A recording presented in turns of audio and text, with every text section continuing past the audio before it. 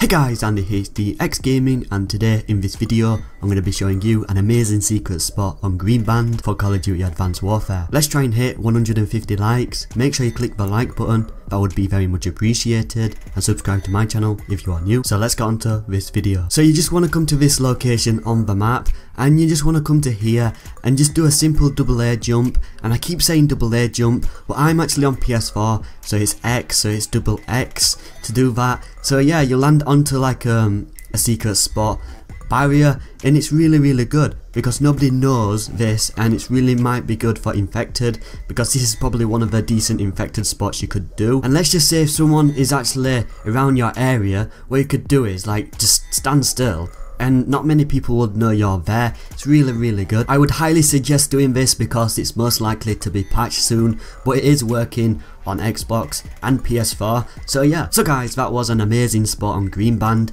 But anyway please leave a like and comment what you think of this. Also check out my channel in the description below. Thank you for watching and I hope to see you in the next video